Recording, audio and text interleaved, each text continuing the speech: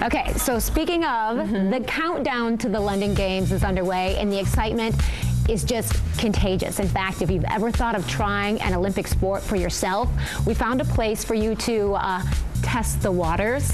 we sent Jordan Carson to talk to the professionals at the Grand Rapids Rowing Association to find out how beginners can take part in this historic sport. There are 14 different men and women's rowing events happening at the London Games, and there's no better way to experience the action than to try the sport yourself. I'm here talking to Landon Bartley from the Grand Rapids Rowing Association. The games are right around the corner. What can people expect out of the rowing events? Well, there's uh, rowing events throughout the whole games, and it's a very exciting event to watch. Uh, they have great television coverage of rowing. It's sometimes watching it in person is kind of hard to see because they're way off into the distance and they the excitement's just at the end. But uh, watching on TV is really great. Uh, you'll see, you know, singles events, one person, doubles, fours, quads with four people, and the eights events. And at, at that level, it's just very exciting competition to watch. Okay, well, there's a rich history that goes along with the Olympic Games yeah. and the sport of rowing. Tell oh, yeah. Well, the first Olympic Games were uh, well over 100 years ago, and rowing was, was in the first Olympic Games. It's been so ever since. Uh, in fact, it's also been in Grand Rapids uh, since the 1800s, uh, one of the older sports around here, oldest intercollegiate sports as well. Um, but the Grand Rapids Rowing Association itself has only been around for about 25 years, and has really just blossomed the last three years, in fact. Okay, well, for someone who knows nothing about rowing, you have two different ways to row. You've got sculling and sweeping. Right. What is the difference? The difference is that sculling, uh, each rower is going to have two two oars. Uh, so this boat right back here is a mm -hmm. single. That's a sculling boat. A sweep boat, the oars are much bigger, a little bit more leverage, a little more force it takes to pull to the oar. You'll you'll only be using one of them at a time. So you have to have a crew working together to make sure that you're pushing the boat forward just right.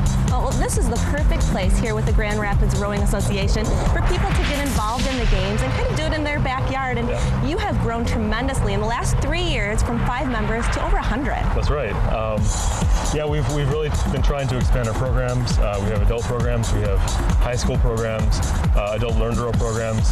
That's been really great. We've had uh, probably almost 500 people just in the last few years going through our learn to row program. Well, I hear it's a sport that everyone can try, so I'm going to take my hand at it and jump in the water. Absolutely.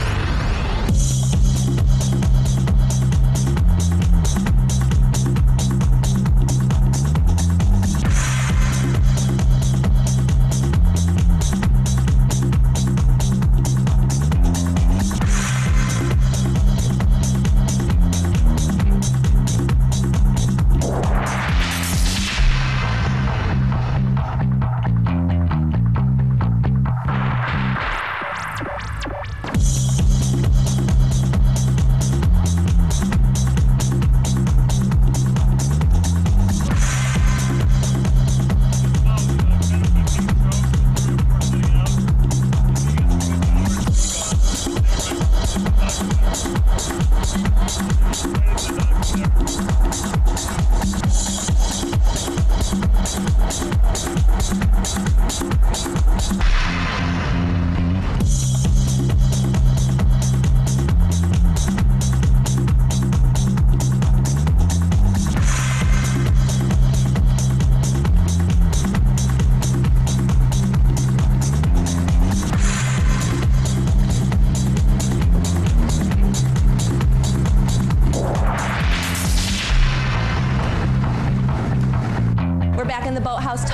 To Victoria Buyella, who started rowing just four years ago right here at the Grand Rapids Rowing Association. How has this changed your life?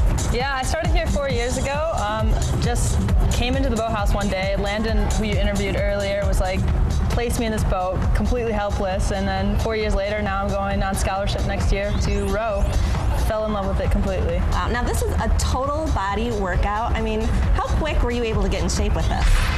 It's a tough process. It's a very tough process, and I'm still, you know, changing every day. It's very like self-motivated. You really have to. It comes from all of you to, to get yourself to move faster in the boat. Well, talking about self-motivation, you have a lot of that because you have a big win under your belt that just happened recently.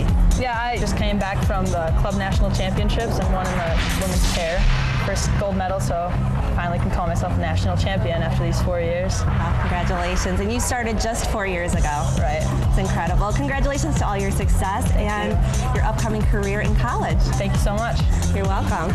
And if you'd like to get in on the action, I know there's still room available for all the classes here at the Grand Rapids Rowing Association, and who knows, you might be rowing yourself into the next Olympics. It is a really historic sport. It has a great, you know, story behind it. It really does, and I'm just mesmerized watching even that know, that clip of cool. them. I've seen them out on Reed's Lake before because I'll, I'll run around Reed's Lake and they're out rowing, and I just kind of sit, sit there and watch. In awe, yeah.